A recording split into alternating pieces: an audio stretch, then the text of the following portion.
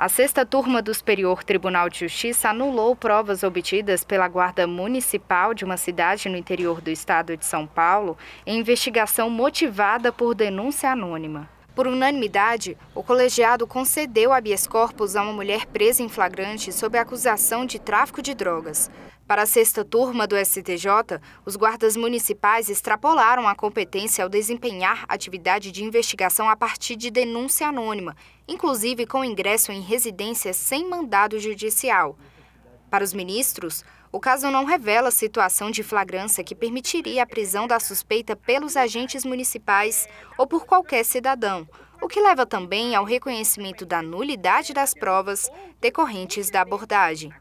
De acordo com o processo, os guardas receberam denúncia anônima de que estaria ocorrendo uma reunião de dirigentes do tráfico de drogas em Sertãozinho, São Paulo, e que no local estaria armazenada grande quantidade de entorpecentes. Os agentes foram ao endereço indicado, entraram no imóvel e teriam encontrado porções de maconha e cocaína, prendendo em flagrante algumas pessoas.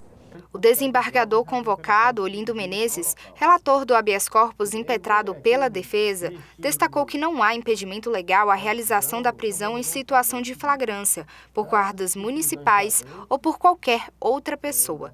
Entretanto, o magistrado apontou que, segundo a narrativa constante no processo, não havia uma situação que justificasse a ação investigativa dos guardas municipais, pois eles só compareceram ao local das prisões em virtude da denúncia anônima. Para ele, a atuação dos guardas não teve amparo em nenhuma das hipóteses de flagrante previstas no Código de Processo Penal.